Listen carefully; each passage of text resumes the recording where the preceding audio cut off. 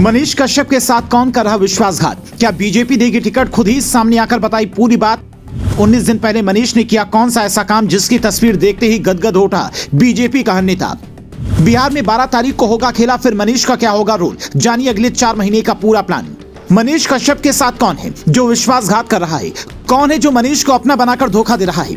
मनीष कश्यप ने जेल से बाहर आने के बाद इंटरव्यू में ऐसी ऐसी बातें बताई कि सुनकर तेजस्वी यादव भी कहेंगे, ये कब और कैसे हो गया? इसमें तेजस्वी का कोई रोल नहीं है, बल्कि मनीष ने जिनके ऊपर ये आरोप लगाए हैं, वो लोग खुद ही वीडियो देखकर समझ जाएँगे। पर ये बताएँ, उससे पहले सुनिए, उन्नीस दिन पहले मनीष कश्यप ने ऐसा कौन सा काम किया, जिसे देखकर बीजेपी का हर नेता गदगद हो उठा होगा? दरअसल मनीष कश्यप ने अयोध्या की एक एक तस्वीर मीडिया के सामने दिखाई, जो पूरा अमला फैला मिलकर भी नहीं दिखा सका। एक न्यूज़ चैनल ने जब मनीष को अयोध्या में देखा तो सवाल किया कि आप अपने इंजीनियरिंग वाले दिमाग से कुछ बताइए कि यहाँ जो विकास कार्य हुआ है, उसमें क्या खास है? तो मनीष कश्यप ने सड़क निर्माण की गुणवत्ता दिखाकर ये बताया कि कैसे यहाँ पर योगी सरकार ने शानदार सड़कें बनानी और उसकी पानी निकासी का अच्छा इंतज़ाम किया है, जबकि बिहार में ऐसी एक भी सड़कें नहीं देखने को मिलेंगी, क्यूँकी वहाँ पर घोटालेबाज नेता बैठे हुए हैं। अब अगर मनीष ऐसे ही घूम घूम कर उन इलाकों में पब्लिक के बीच में यह संदेश पहुंचाते रहे, जहाँ पर मीडिया नहीं पहुँच पा रही है तो इससे जनता और सरकार दोनों को फ़ायदा होगा। इसलिए इस बार ये कयास भी लग रहे हैं कि मनीष को बीजेपी बतौर प्रत्याशी चुनाव में उतार सकती है। ये सवाल,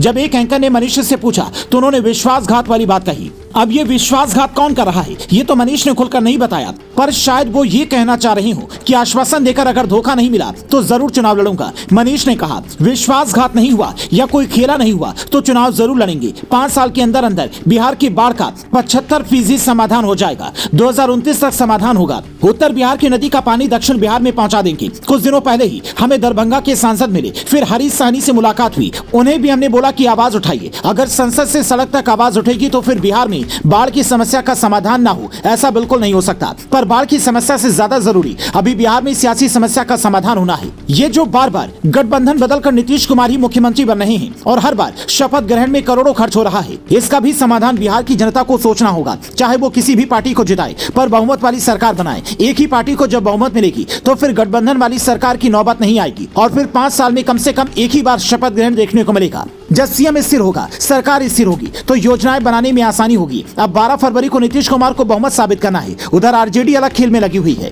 कि किसी भी हाल में नीतीश की सरकार गिरा देंगे। असली खेला क्या होगा, वो अड़तालीस घंटे बाद पता चलेगा। लेकिन मनीष कश्यप को उसके बाद जिस खेला की ज़िम्मेदारी मिलने वाली है, वो बड़ी हो सकती है। अगर बीजेपी ने मनीष को उम्मीदवार बनाया तो उससे पहले उन्हें खुद को एक बार साबित करना होगा। जेल जाकर लौटे मनीष के तेवर अब भी बदले नहीं है, जो ये बताता है की बिहार में तेजस्वी की पकड़ कमज़ोर करने में वो बड़ी भूमिका निभा सकते हैं। पर अभी अनुभव की कमी की वजह से। बड़ी ज़िम्मेदारी से पहले छोटी छोटी जिम्मेदारियों को पूरा करके दिखाना होगा और शायद अगले कुछ दिनों तक वो वही करते दिखेंगे, जिससे उनका भी राजनीतिक भविष्य संवरेगा और बिहार की भी शायद किस्मत बदले। पर यह तभी होगा जब बिहार की सत्ता मिलने के बाद नीतीश बाबू की तरह नए नेताओं का मिजाज न बदले।